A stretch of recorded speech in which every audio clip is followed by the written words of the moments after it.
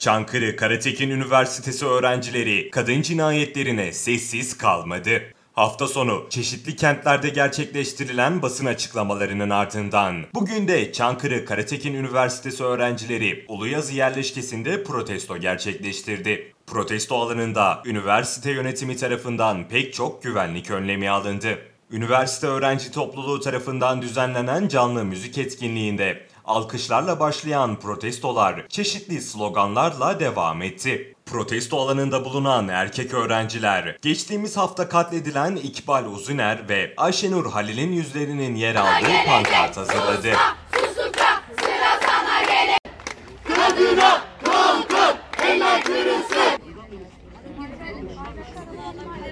Ülkenin medeniyetinin göstergesidir. Biz gündüz bile sokakta yürürken arkamıza bakıyoruz. Medeniyette sınıfta kaldık.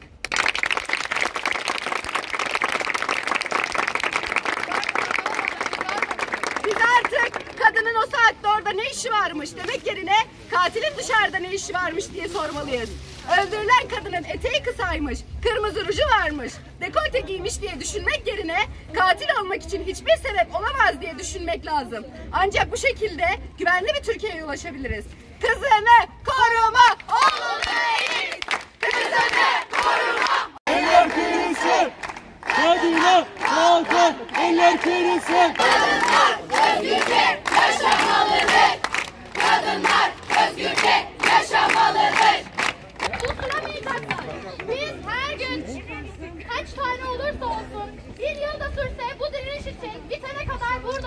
Arkadaşlar.